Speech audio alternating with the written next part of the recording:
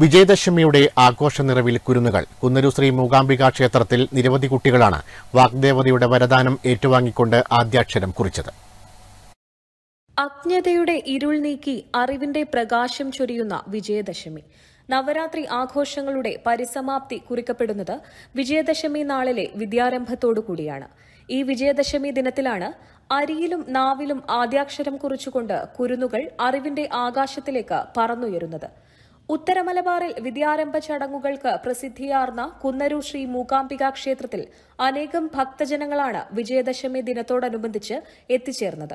കഴിഞ്ഞ വർഷങ്ങളിൽ കോവിഡ് നിയന്ത്രണങ്ങളോടെയായിരുന്നു ചടങ്ങുകൾ നടന്നിരുന്നതെങ്കിലും ഇത്തവണ നിയന്ത്രണങ്ങൾക്ക് ഇളവ് ലഭിച്ചതോടെ വിപുലമായ രീതിയിലാണ് ചടങ്ങുകൾ നടന്നത്. ക്ഷേത്രത്തിൽ കുരുന്നുകൾക്കൊപ്പം മുതിർന്നവരും ഐശ്വര്യം നുകരാനെത്തി. രാവിലെ തന്നെ വിജയദശമി ദിനത്തോടനുബന്ധിച്ച ചടങ്ങുകൾ ആരംഭിച്ചു. രക്ഷിതാക്കളുമായി എത്തിയ കുരുന്നുകളെ വിദ്യാമണ്ഡപത്തിൽ ആചാര്യന്മാർ എഴുത്തിനിരുത്തി. ആകാംക്ഷയും ആനന്ദവും ചിണുക്കങ്ങളും കരച്ചിലുമൊക്കെയായി കുരുന്നുകൾ അറിവിന്റെ ആദ്യ പടി കയറി. വിദ്യാരംഭത്തോടൊപ്പം തന്നെ വാഹനപൂജ ഗ്രന്ഥപൂജ എന്നീ ചടങ്ങുകളും ക്ഷേത്രത്തിൽ നടന്നു.